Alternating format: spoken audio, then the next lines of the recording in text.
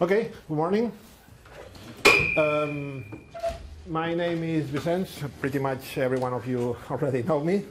No, no. No? Who not? You're new. You haven't been to any conference Yeah, exactly. Yeah, I'm a new, I'm a new uh, person around. Yeah. Yes, you're young. you Exactly, yeah. Well, I, I bring young blood with me today. So yeah, uh, together with Christian, uh, which is a, a colleague of mine in, in this graphic, we are based in, in Catalonia, in Spain. So we'll show you uh, how we are creating uh, React native uh, applications. Uh, just notice that this is, and I made it very clear, this is a 101 uh, session. So it's a very basic session one because it's uh, amazing the amount of things that you can have with that. I mean, only if we have to speak about React, we can fill two or three hours. Then there is another couple tools that we'll see that can fill also a couple more hours.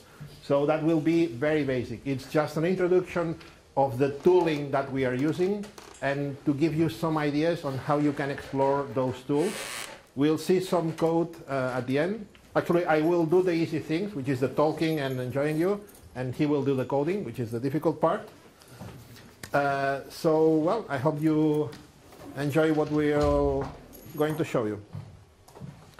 Well, obviously, the first thing is showing uh, appreciation to our sponsors. And this is a bit the agenda that we're doing today. First thing is what is React Native, how it compares to just uh, React JS. What is the differences, what is the relationship between the two, and how they uh, both compare. Uh, a tool that we are using called Expo, which is not directly related to, not, sorry, not, not built by the same uh, company that uh, does React, which is Facebook. So that's an independent project, but makes uh, building React Native applications very easy. A bit of how to integrate uh, an application with DNN, mainly on the side of authentication. We will not be going deep into that because uh, on itself that's a session uh, doing the authentication using JWT. And then uh, I'll switch it uh, to Christian. He'll show you how to do the basic setup uh, for your tooling, how to set up uh, your computer in order to do developments with or without Expo. Uh, some uh, short demos uh, using will mainly be using some examples that are already available on the web, uh, showing how uh, how you can do this kind of applications and giving you some pointers or where you can go to explore more information about that. So the first thing is before going to React Native, uh, my first point is uh, what is React? In fact, anyone here uh, using React actually? Few? Well, so I'll give an intro on what is React. First thing. So React, well, first of thing, uh, the, both tools are uh, frameworks built uh, by Facebook. Okay, so they are open source. They are proven that they are good, solid, uh, solid working. So uh, we made the choice to uh, be using React instead of Angular, just when we were uh, choosing our uh, user interface tooling for that. And I think that I'm pretty happy with how it's working so far. It's, it's different than Angular. I'm not an expert in Angular, but I can tell you for sure that building user interfaces with React or with just HTML, JS, and the DOM, it's, uh, it's day and night. I mean, it's uh, highly uh, recommendable that you use something like that. So I really like the approach that we're using for, uh, with that. And all the new modules that we're using, it's mainly uh, React on the client side and uh, the Java, sorry, the, the services framework on the server side. So it makes a, a clear separation of concerns.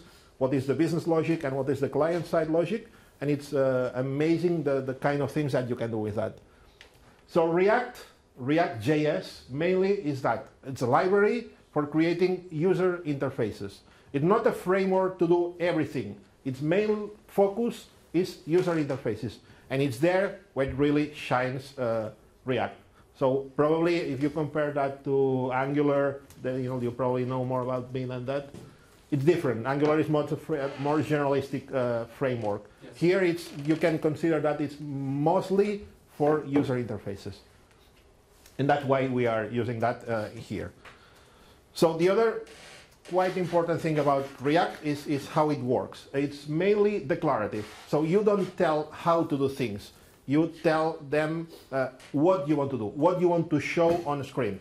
So you want to see a, a component in there, so you declare that component, and with very few logic, uh, you leave it up to the uh, React engine to refresh uh, your screens and to make a transitions from states very easy. The other thing that I forgot to put it here is that React is based on kind of an state machine. So they have some, mm, how can I say that? Uh, there is two important pieces in React that you need to know. One is the state that uh, you maintain on your application, and the other is what they call the props, which is the properties that you pass between screens, which is the main infrastructure that you really need to build a React app. Uh, state and props. That's basically it. The other thing that is important on React is what they call the virtual DOM. I'm not really that much into that uh, on the side of performance, but the explanation they say is that when you manage uh, the DOM using uh, normal JavaScript, uh, jQuery, whatever, that's uh, very, uh, it's not very cost effective. So there is a lot of performance mm, issues in there. So what the approach that they took on React is that they extracted the, the, the browser DOM into a virtual DOM. So everything you do in React is done, let's say that in that in-memory DOM.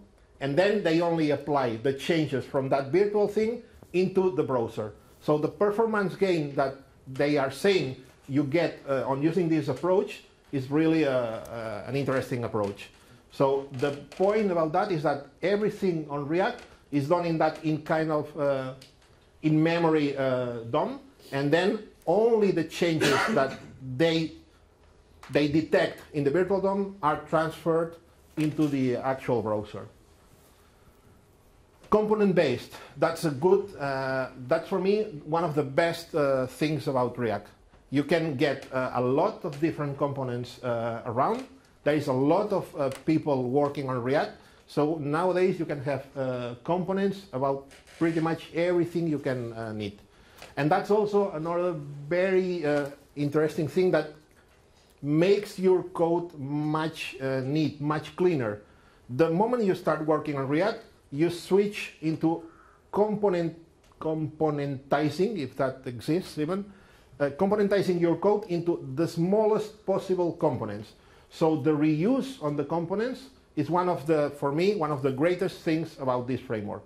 You can create uh, very small components that can then be reused all across your applications. And that's the same thing that uh, DNN is using, for example, in the persona bar. Okay?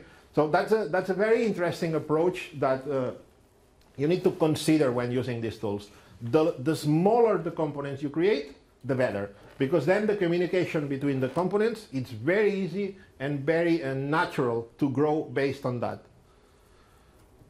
And the final thing probably about uh, uh React is what is uh, JS. Uh, that's not really a requirement, but that's something that is highly recommended which is the JS, uh, JSX, oops, sorry, it's not here.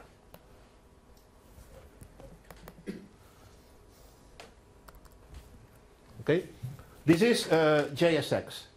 It's uh, kind of uh, JavaScript uh, on asteroids. So it's not really JavaScript, but it looks very familiar if you're using JavaScript. It's much more uh, mm, type oriented in the sense that you have your classes this is the, the constructor. Here you define, that is what I was telling you, the state. This is a very simple code that we have from another project. This is where you define your state machine, uh, where, well, not, not really the state machine, the state uh, variables that you want to maintain in your screen. Then you have, this is kind of the entry point. If you are doing web, uh, ASP.NET web forms, that would be your page load okay? And then you only need another one thing, which is the render. And that is where you do all your user interface. So with very minimal code in this place here, React will take care of rendering all the things that you are pretending to do with this screen. So well, I don't have any component here, but you pretty much see another thing, which is that,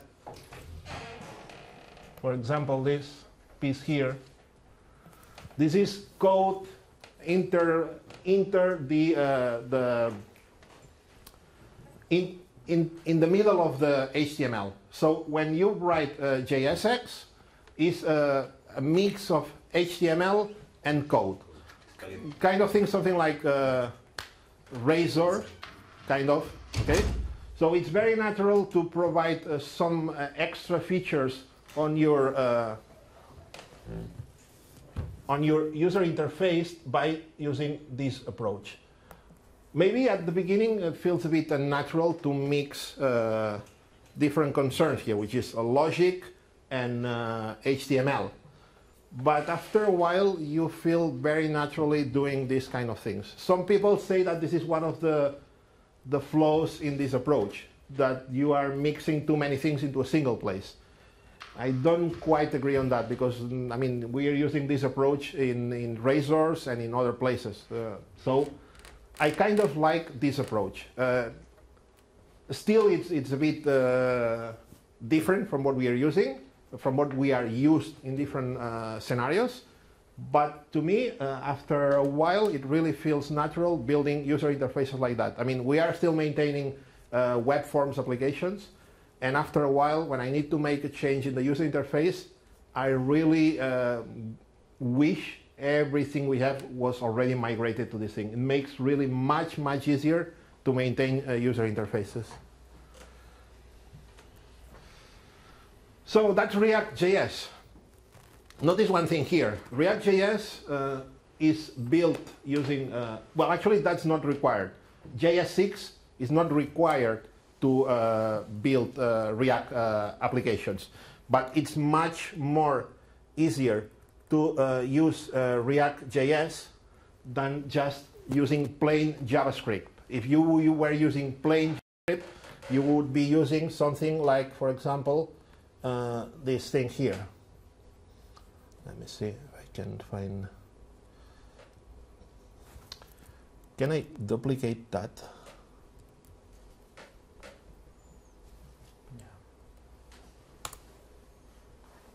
I don't see what. Okay, yeah.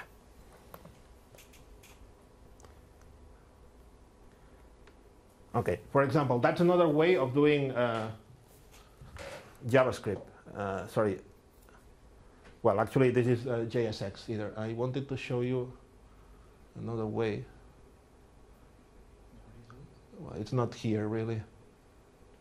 Anyway, my point was that uh, you can do the same thing that you're doing with uh, JSX with plain uh, JavaScript.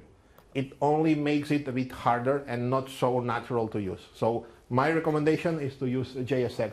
Some people use, for example, um, what's the name? Uh, TypeScript. Type, TypeScript, exactly. That's another way of doing that that makes uh, easier to work on that kind of platforms. Can you use TSX instead of JSX? What? Can you use TSX over TypeScript? Yeah, yeah, yeah, absolutely. Yeah, yeah. That's not required. So obviously JSX uh, uh, at the very end compiles into JavaScript. So if you use TypeScript, you use a different compiler, compiles into JavaScript, and that's it. So yeah, for sure. So the idea here is, uh, again, notice that you, when you write components, at the very end, this thing translates into HTML. So what they did is it, why don't we use the same approach, but instead of translating into HTML, why don't we translate, compile into native, uh, native applications? So that is what React Native is. That is a framework for building uh, native applications using the same uh, paradigm as they use for uh, browser applications. So the difference here is that in one side we have our uh, React compiling into HTML plus CSS, and here it compiles in a way into na native UI calls. And that's the important piece here also. This is not a hybrid uh, application. It's not like, for example, what's the name, Ionic or Cordova or that kind of things. This is not native code. So whatever you do here, at the very end, it, trans it translates directly into API calls for the platform that you're using, uh, whether it is uh, iOS or Android. So, in theory, the performance gain that you, that you have by using this approach is much better than uh, using other technologies. The other good thing about this is that the feeling that you get on your applications is much more natural. That's not a browser uh, application inside uh, the, uh, the mobile. That's really a native application. The only thing here, and the good thing is that you use the, the, the familiar technologies that we know, which is uh, JavaScript, and in that case, JSX. So if you come from the world of React, it's very uh, natural to make the transition to this uh, paradigm here. Even though, and that's, that's probably the, well, again, sorry, uh, the components, the, the same paradigm, the, the component details, uh, well, whatever. The components that you use in one place, it's the same idea here, okay? So the same way you build uh, browser applications, you build native applications. The only problem is that obviously uh, there is no code reuse. So don't think that you create a React JS application, you put that on the browser and it runs. That's not, that's not it, just it. I mean, it's completely different. It's only the, the mindset, the, the, the idea of working, the tooling, if you want. But all the components are completely different because the components here are na native components. So again, there is plenty of components around, but they are really native components. When you call in, when you use those components, you are calling into the native APIs of the platform, be it uh, iOS or uh, or Android. So mainly, what you're using here is the knowledge reuse. That's what they say. This is not called reuse from React.js. This is the knowledge. This is the, the way of doing things. Okay? And for example, sorry, no. Okay, as, the, as I was saying, as React.js compiles into uh, HTML or CSS, uh, React Native renders components using uh, API calls. So, for example, when you're doing um, a React.js application and you're using a div, you have to switch your mindset, and when you're doing React Native, you use a view. Okay? So uh, a span would be a text. Uh, a list box uh, would be a list view. Sorry, a list would be a list view. IMG would be an image. You need to change your mindset that this is not really HTML. And again, this is not a hybrid application way of doing things. So it's not that you're writing HTML plus JavaScript.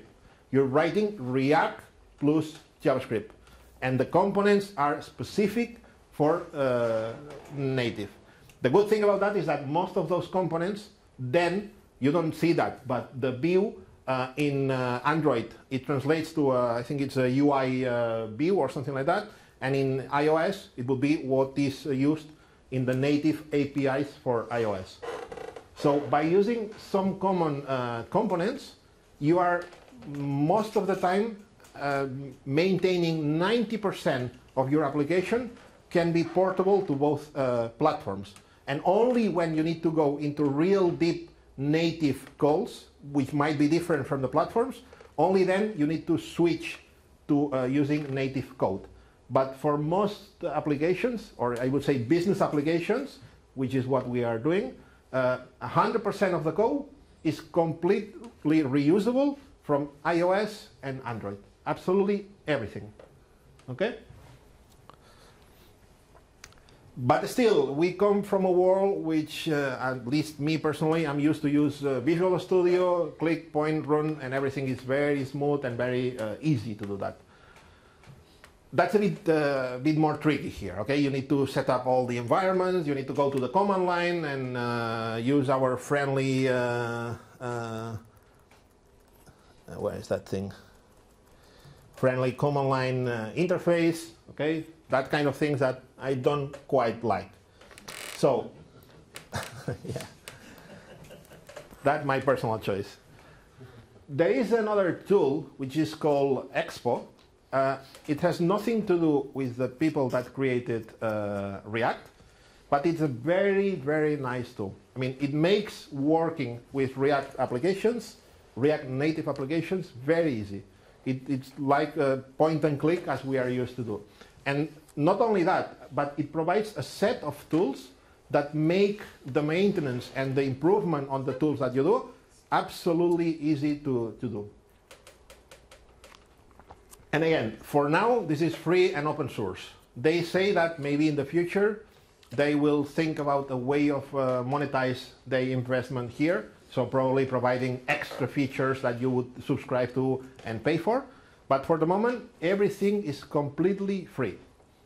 So a couple things that they uh, have here. The first thing is the Expo client.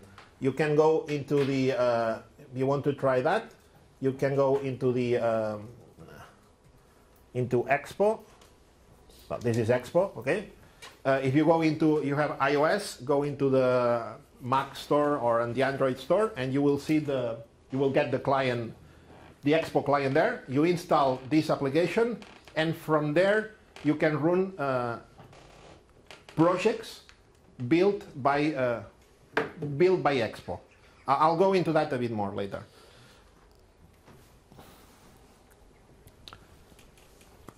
Another one is the Expo CLI. That's uh, another uh, command line interface. So uh, all the tooling that you need to compile, run, create projects, you can do that from the CLI uh, from Expo.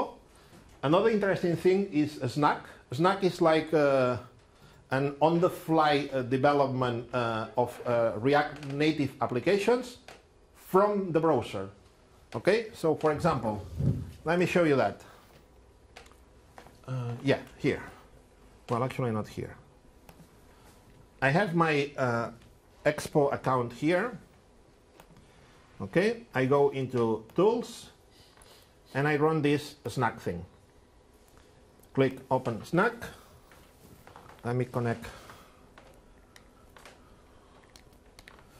So, for example, okay, here I have. Uh,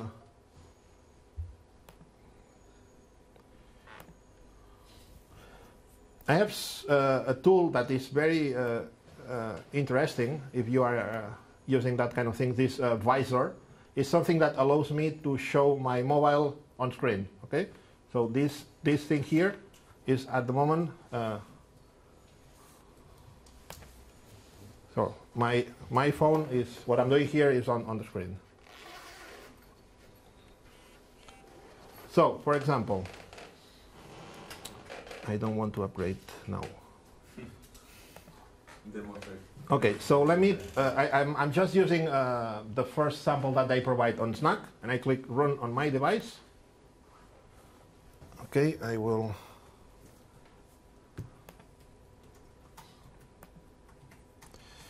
Uh, the device ID, I already have it here.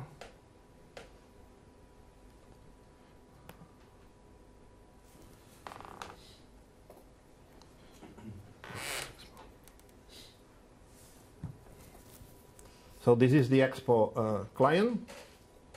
Okay. It's, a bit dark, no? Right? Uh, Sorry? It's a bit dark. Yes, and I don't know why, but Yeah. usually I shouldn't be getting that. Let me let me try to reopen that again. There's a, an overlay that. And right now I want to build that on my Asus. that, Whoa. that is much better now. Give me a second. Come on. Okay, it will not work now.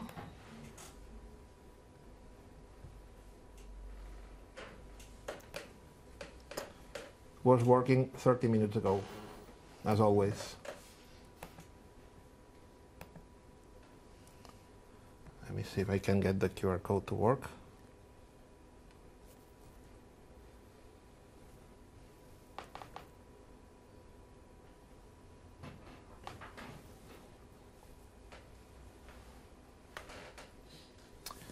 I'm sorry, it will not show now. I'm not sure if it's because we have uh, the uh, emulators running here or what. Yeah, but that's not the one that I was looking for. Well, my point is that I have now the application running on my phone, okay? And you will not see that, but as uh, at the same time that I, I can change this uh, thing here, let me zoom that a bit. So this is uh, some text here, and I say hi uh, DNN Connect. Okay. And the moment I did that, it's on my phone. Okay. So the, the, the good thing about that is that you can uh, prototype, if you want, some components here, and they appear right away on your phone, which is very easy. You don't need to compile, deploy, wait for it to go to the stores. That's very easy to maintain and to do. That's uh, I, I don't remember the name, but these these platforms that you have on the internet to play with JavaScript and do um, demos online. That kind of things. Yeah. That's something similar to that. I mean, you can play with your React Native here, and you see the results right away, either on the emulator or on your phone. I'm sorry that I can't make that work now, but that tool usually displays my phone here. Anyway, back to the. Uh, And the, and the application is installed on, on the phone? I mean, if you now unplug, the application remains installed? Uh, that depends. Uh, the point here is that uh, you use this. Uh, what I'm using is the. Uh, sorry. I'm using the Expo client. Okay. Okay, so you Okay. can run the application from within the Expo client, but that doesn't mean that you cannot install the app. You at the very end of the cycle of your development, you can create a, an installer for the app, and it will install here. Okay, and the other good thing about that, I'll go that uh, in the next slide. Well, sorry, let me keep on that. Uh, that was the Expo snack, okay? Uh, Expo SDK is uh, an extra set of, uh, of native uh, API calls that you get for free when you plug your development into Expo. So uh, some things that otherwise you would like to, you would need to go into finding some extra components to go to the native uh, access for, uh, for the accelerometer, the camera, all that kind of things are built already into Expo. So going into some kind of native calls for your apps, it's very easy done just by using the tools that are provided by you. Expo uh, XDE is the client that uh, they provide you uh, for uh, Windows and Mac altogether. From here, you can create uh, new projects, run projects, uh, deploy and publish projects to the uh, internet, to your client, sorry, to your Expo uh, account on the internet. So, for example, if you are deploying your applications using Expo, the moment you publish a new uh, version, all the clients, if you want, all the cli- all the users that have this uh, app installed, the moment they uh, switch it uh, on again, it will get an automatic upload from there. So that's also a very interesting thing that you get for free when you're using Expo. The automatic uploading, uh, sorry, uh, upgrading of apps. That's something that since version, since the last version, it was automatic. You didn't have control on that, but I read last week that they have switched, sorry, changed a bit their uh, APIs, and now you can control if you want to do that at app start or app closing or on demand or whatever. So it's it's quite interesting. Mm, what is that? That's the uh, XDE. ExpoKit is uh, is something that they provide you when you want to still use all the facilities that they provide you in Expo, but you need to use uh, components that are, that are not directly supported by them. So if you need to go uh, native uh, on some uh, pieces, you can still use the facilities that Expo provides you, but use those uh, native uh, components. Okay. And that's usually the life cycle of uh, an Expo project. You will start your new project either in the Expo development environment or from Expo Snack or from creating uh, from the command line uh, create React Native app. That's something that Christian will show you. You develop your app locally, you publish uh, your URL into your project uh, uh, space on their uh, servers from some way, and then finally you can also deploy as normal to the to the stores for Google or for for for uh, iTunes. Okay, that's not it's not that you have to deploy only to Expo. You can do the same thing you do with other applications. The good thing is that if you don't want to do that, for example, if you're creating an internal application for a company, you can just use the, their internal workspace and it will be there and no one will notice about this application. Couple more things that Expo provides you uh, automatically. Push notifications. That's something that they will give you all the infrastructure you need to give push notifications from the apps to your uh, servers. Uh, over-the-air updates, I already mentioned that. They provide extra components. I already mentioned the Expo kit. And that's more or less a very uh, quick introduction of what are the toolings, uh, the tools that you can use. React, React Native, uh, Expo. So if you set up that, in 30 minutes you are done and running, preparing your uh, new applications. A piece that is a bit more complex, somewhat, is the integration with DNN. Uh, not well, not really complex because you will be using uh, the services framework, uh, the, uh, Ajax calls that we are used to do in the browser. So that piece is exactly the same. The same JavaScript that you're using on the browser when you're using React.js to call your uh, services framework calls, it's the same thing that you'll be using here. The only piece that is different, obviously, is that you need to authenticate if you want to create uh, secure applications. So for that, you need to use, uh, well, you, need, you can use other things, but DNN provides the JSON Web Token approach. It's a bit tricky to get it working sometimes, but usually, uh, well, the tricky part is the token renewal. There is a project uh, done by Peter Donker on the DNN Connect uh, GitHub that has uh, all the token renewal implemented. It's a bit tricky because you you never know when your app will uh, will need to renew the, the authentication token. Well, actually, it's uh, one hour, I think. It's one hour, yeah. So you can be in the middle of, uh, of trying to make a call and the token is expired. So then it will fail. So there is some tricky uh, building, uh, plumbing that you need to do to make that, that work. So uh, J- client or is it on the server side? The Peter that he, he did on the client. on the client. Yeah. But that's tricky because I mean you, you might be pushing a button Yeah. and expecting a call to go to the server, but then the token is done. So if you don't do anything, the just the call just fails. It fails miserably, because that's the that's the only thing I, I, I don't really like about this. That it should be much more automated. So you have to do all the plumbing yourself on the renewal of tokens. So JWT uh, is uh, uh, well, I'm not sure if I should call a provider or a module. Well, probably it's a provider. You install this. Uh, usually, you will get that into the providers folder, the providers uh, install provider folder, resources. There is a file there, which is this thing. You just install this thing. It's very easy, no configuration at all. You need to provide a few uh, extra lines on the web config, and you're done.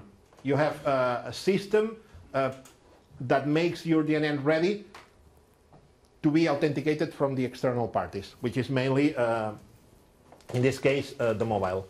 Then there is uh, this call, the login. That's a services framework call. We are used to be doing that. You pass the user and password, and you get a token. Well, actually, you get three things. You get the, the user that is connected. It's big enough, this thing. You get the, the display of the user connected, you get the access token, and the renewal token. That's the piece you need later on when you notice that your app is not authenticated anymore. You need to pass this token to the server, and they will provide you another access token that you will be used from then on. Okay, when you have that, the only other thing that you need is when you make a page request, just use the typical authorization bearer token, and you're done. So not that difficult in that sense. Okay, the only difficult part here that we found is the renewal piece, but it's quite well documented here, and it works pretty well. Question, when you're working in the, um, in the browser-based tool, Hmm. do you have to worry about the cross-origin, uh, like CORS? Mm, that's something that I can't really reply. Uh, I don't really know. We have not used that browser any much more. Most of our testing, we just have the devices attached right. and, and try it there.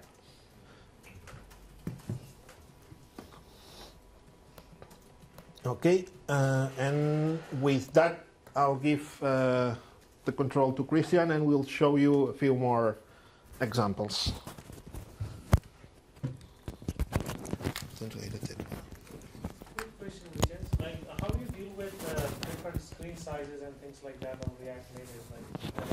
For the moment, we've not really been into that kind of thing. I mean, the, the, the apps that we, we built so far are mainly for uh, an internal application for a company where we even have our specific devices. No. That's an industrial device with some barcoding and so, so we know pretty sure that this thing This will work here. device, yeah. So we are, we are not building consumer, uh, consumer applications, let, Okay. let's say that way, okay? We are not into that kind of thing. So probably, uh, well, actually, I, I don't really know. I- I'm, I'm sorry, but I can't really tell you that. We are mainly building applications for, for companies that it's, it's, that's uh, an internal solution for a company, and we know pretty sure that it will work here. So we are not that into. But we've been actually we've been using that into another device which is double that one, and it just uh, adapted pretty well. Yeah, well. yeah. So yeah. Okay, okay. So what what do you do we need um, to set up um, our uh, development environment? We have two options. If you if we want to use Expo, it's easier. If we don't want to use Expo, it's a bit uh, a bit trickier. So uh, with Expo, um, you only need uh, Node Node.js um, the, the editor recommended by uh, by React Native uh, documentation is uh, Visual Studio Code. That's thinner that Visual Studio. I find that it's easy to to learn and use.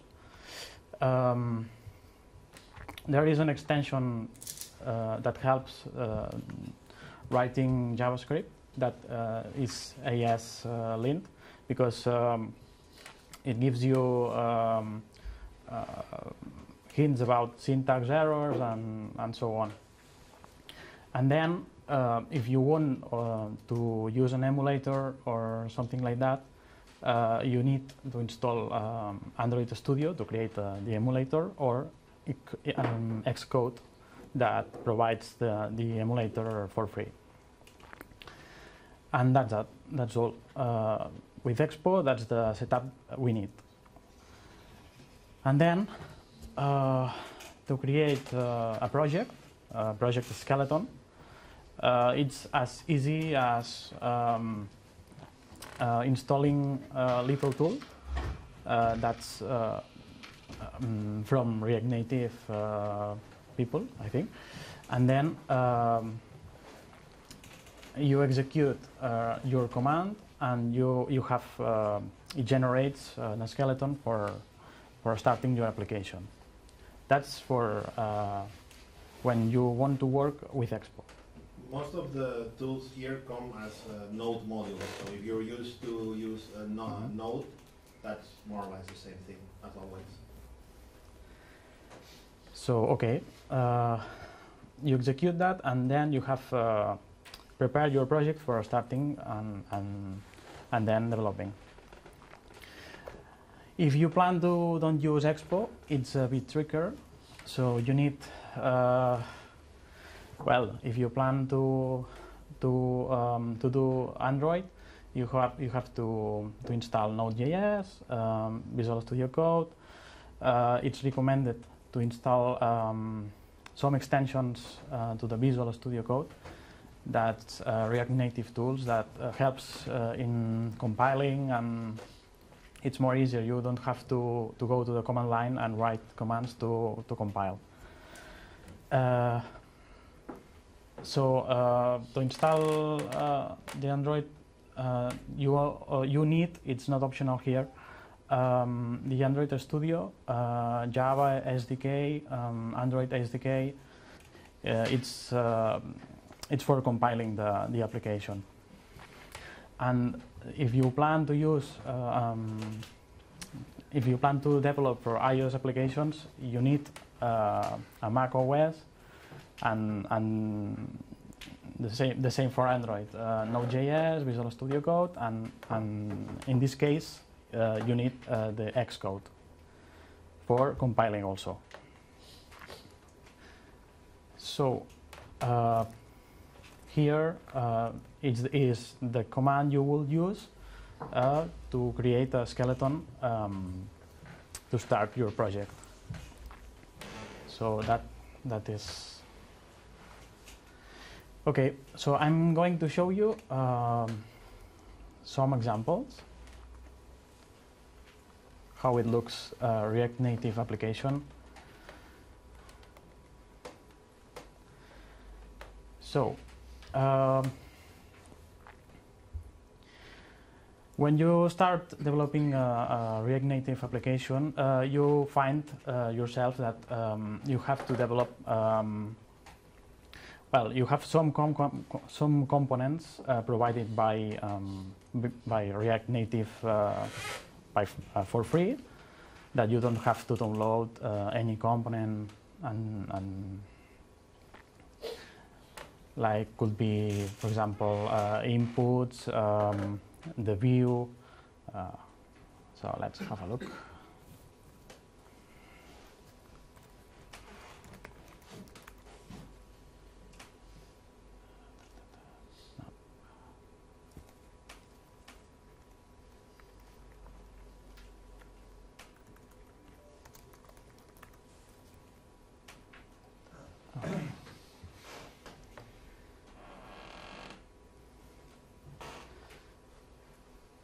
So here, the components. Here uh, on the left, we have um, a list of the components provided for free uh, by React Native uh, libraries. So uh, that could be basic things like uh, lists, for example, um, could be uh, buttons, um, images, modals um, that comes for free.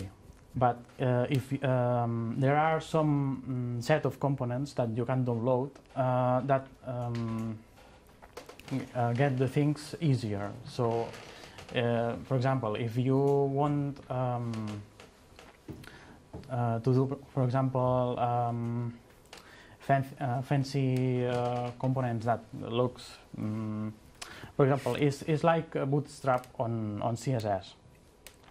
You have um, some CSS written for you, and uh, you you reuse um, that CSS to make your applications with uh, uh, with a look that that is okay. You don't have to write uh, all your CSS to to to get a look that that works.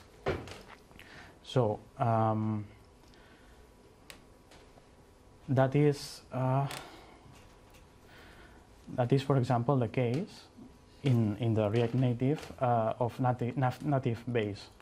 That, that is a set of components, uh, just like Bootstrap could be, uh, that provides you uh, some, some things that mm, is, um, uh, that is more easy um, to reuse and, and set up your application. For example, uh, that could be um, styling for for um, header, for example, or or if, if you want to add a footer, uh, things like that. For example, um, here uh, we have. Uh, okay, this shows examples uh, like. Um, if you want to add about a button uh, to your header or if you uh, if you want to to to do custom headers um,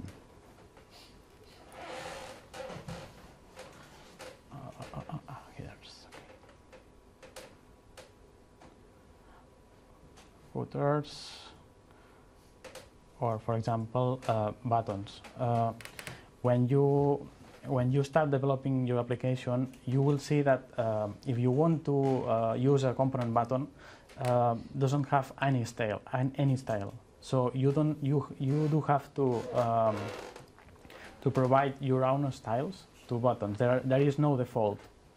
So you have to do your mm, write your styles and and that's why it's, it's useful to use mm, that's comp- that, that set of components because you have uh, some predefined styles for free.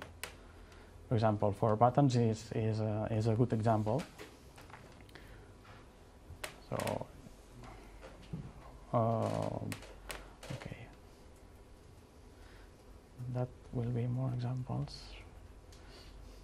Mm. This is just uh, another sample of components that you can download from somewhere that help you a lot on improving the, the quality of the of the user interface. That that's Mhm. mostly it. So how it looks on the inside. Okay, our application starts uh, from from here, and then um, uh, you have to set up your um, can you just go back to the previous one? What? Uh, The, the previous one to the ah index. yes ah yes This is the starting point, and notice the first two lines, import. That's the way React, uh, React, not React Native, React uses to uh, actually import components that are defined in other places. So here we are using uh, a component which is called the app registry, and another component which is called the app. And in this main component, the one that's called app, is where is in this case is where the app will start. So notice that by importing the, on the second line, importing the app, then we can call uh, some methods, like, well, actually the second one probably comes from the first one, which is the register component. And, well, actually, I'm not sure exactly what this does, but that's the idea. You, you, you make components that have some built-in uh, features, and then you can reuse somewhere else there. So uh, now this is the starting point, and he'll show you uh, on the app where what is there. So again, here, the same thing. It's a very simple component uh, that they decided to do it that way. Uh, it's exporting the, the, the, the third line, export the class app. That's the name that you can then reuse into other components. And in that case, what it does, it just renders another component, which in this case is the setup that again is imported from another place. Mhm. So here, okay, in this case, uh, it is a component that uh, provides the styles. So that mm, they decided to do this in this example, but it's completely completely up to you. So, for example, uh, if you go to the app to this app component, we'll see. Okay, here is where they uh, import um, all of the components that are programmed for, for, for this example. And below, we have the screens. The screen, uh, the screens that uh, the screens also are components. So when when you when you decide to do a new screen, you you will be writing uh, another component. So, so it's all about components.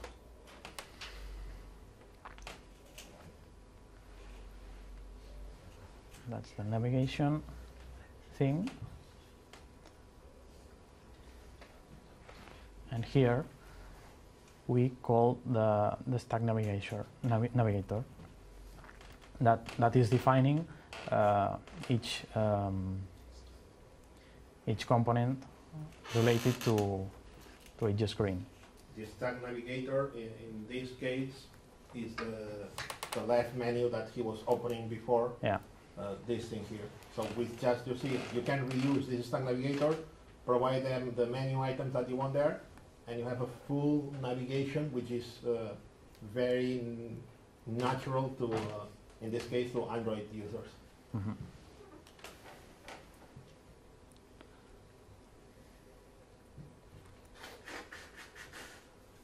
So, okay. I want to see the app navigator now. Uh, okay. Um, another thing that's that's useful. Um, for example, I found that um, here we don't have CSS to, to style our thing, so it, it has uh, something similar uh, to style uh, our our lookings. So we have uh, resembles um, CSS, but it's not. So, um, for example, if you want to position things on the screen, um, uh, React Native uses uh, the same approach that uh, uh, in CSS we have the flexbox. So uh, sometimes, if you are not used to that um, to that approach using flexbox, for example, um, that's my case. Um, you can you can find components that help you, um, for example, to use um, to define um, columns or rows, or for example, to, to be easy uh, to position your things on the screen. Uh, this set of components includes, uh, for example, uh, one thing that they call layout. So, for example, um, if we go here,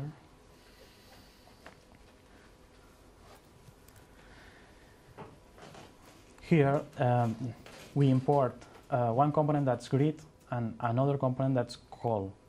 That that will be um, um, to set up uh, on our screen uh, a grid with um, with three columns and, and define its sizes.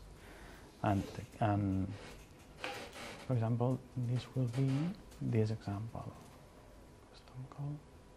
Here, the sizes, for example, are relative. That, that doesn't mean that it is one pixel or one column. Well, it's actually it's one column. You have to sum all the numbers, so it's four plus two plus uh, one, so that would be seven. So you can think of a grid of seven columns, and from seven columns, the first one will be uh, take one uh, one percent of the real estate, and the second, uh, well, one percent of one uh, one uh, one seventh of the state, two, se- two sevenths of the state and the rest part. So it's, it's kind of uh, the usual grids that you're used to use in CSS. The only thing is here that you define your, the number of columns that you work with. Yeah, so that's the, that's it. And then, uh, well, I, I don't know if, uh, well, here we have uh, pickers, for example.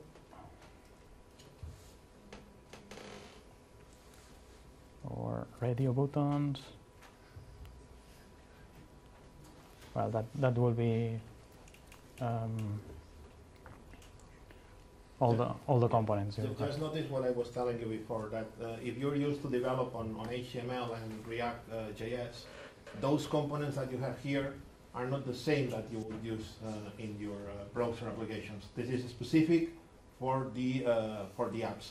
So those grids, uh, bodies, titles, whatever, they are components specifically designed for the, uh, for the, um, for the devices, whatever they are.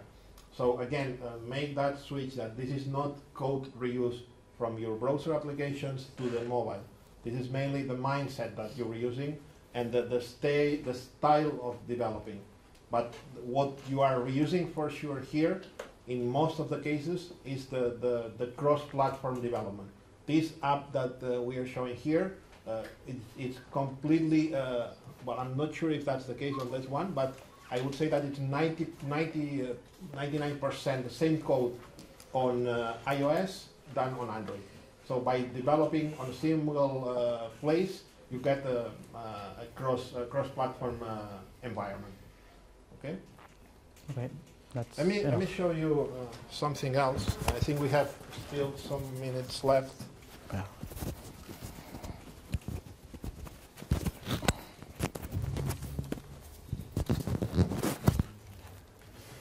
See if I can play a bit more with Expo, and you'll see how that works. So let me shut down couple things here.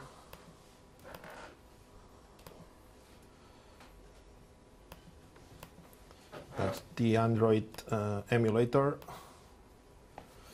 So where is that thing? Yeah, here we have the, uh, that's the Expo uh, client, sorry, the Expo uh, SDK interface, okay? So from here, I can create uh, a new project. Uh, I will use that template. I'll give that uh, a name, create this thing. Let me close a few. Uh, that takes uh, a while because it's downloading a, a ton of uh, Node modules. So you're used to that. You see that downloading some modules takes a while. But the moment we do that, you'll see that uh, it's uh, just there. So if you, uh, well, the other thing about that, which is interesting, is that you, if you're using uh, testers for your uh, for your uh, developments, you can give them access to the uh, to your well, not, not really to your account, but you give them access to uh, the to the apps that you have provide published here, and then they don't. You don't need to. How can I say that? You don't need to deploy your apps into some internal servers or whatever. You just provide them a URL, and they will be able to download directly from here, provide you your testing environment and whatever. Okay, and that's another way to improve the uh, the way you're uh, deploying internally your applications. So let me see if that uh, finishes. Okay. So for example, now I can share that thing.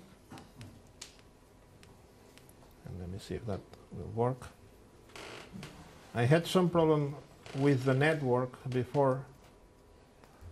I'm not sure if it will work right now or not. No, the, uh, there is something wrong with my phone today that can connect uh, into this right now. But uh, that's probably Yeah, the one thing that you need to do when you're uh, when you have created your project here is that you publish that. Now it's uh, doing some some work over there, and at the very end you will get a, a public uh, URL that you can send uh, by email or just by this uh, QR code here. Okay, you can send that to your testers, to your internal users. Then they just click on this URL, download the Expo client, and they have the uh, thing on their device. Then the moment you provide new updates uh, on your site onto this application, they will get the new versions of the app uh, without doing anything extra. So that's a very good way of deploying that kind of things. I have a question. Is, Yeah. in the Expo client, is that really a native or is it rendering in a web view? Or I think it's native. Yeah, native. The, the only thing that, it, well, you need to consider is that if you're using uh, Expo, it will attach some extra SDKs into your app.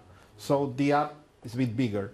So if you compile without using any Expo stuff, the app I know, can be a couple megabytes, whatever.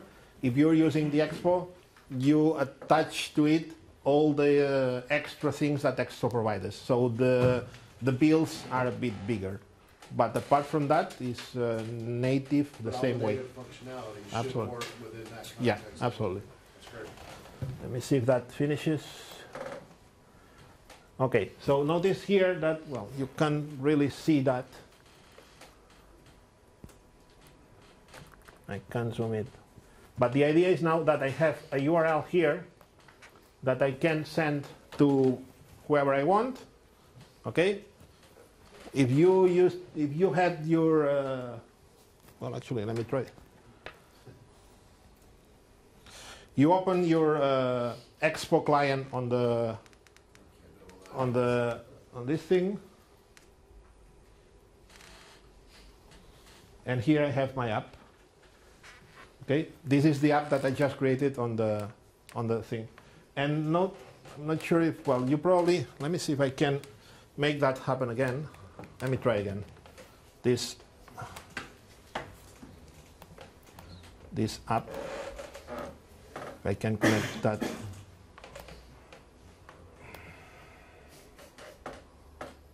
I don't want to upgrade now. Come on.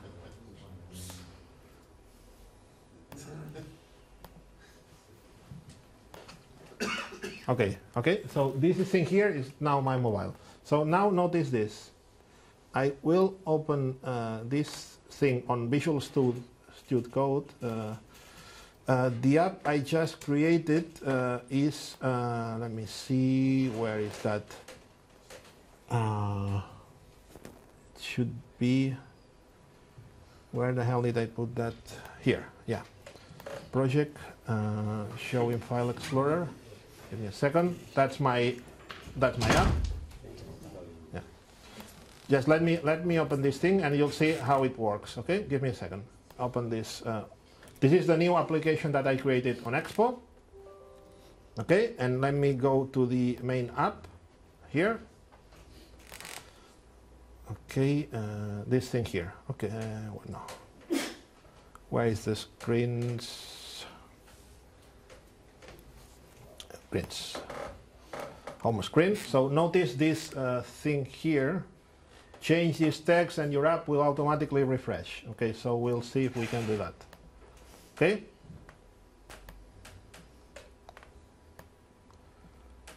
So let me make that a bit smaller.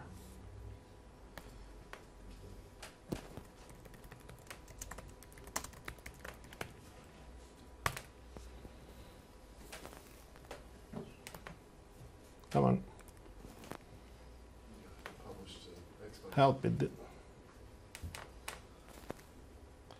There is some configuration thing that's going on not that good here. You You, ha- published you to had the, the running the, the Should be there. Should be there. There is something wrong going on with my phone right now, but the, the, the idea, I, I just tried that before the session. The idea is that then you can change your, uh, your uh, code here, and right away you see it uh, on, on this, which is just uh, the same thing that I see on my, on my, on my mobile, okay? But I'm sorry it went a bit crazy, this demo here, but that, that things happen. So that's pretty much it. If you have any question, we might help you. Uh, anyone? Yeah. Do you know um, this JavaScript code is um, something compiled to X to Sesh to say Yes, for yes, it is. Xcode and to Java to Yes. Android? Yes, it is. This is uh, again. This is not a, a hybrid application. So what is running on the phone is native code. And Yeah. somewhere you can see the generated Java or the generated. I don't know. I don't know. There is some some code, uh, some folders here, but I don't really know Sasha that piece. it's not a kind of uh, virtual JavaScript machine that's running in, in the phone.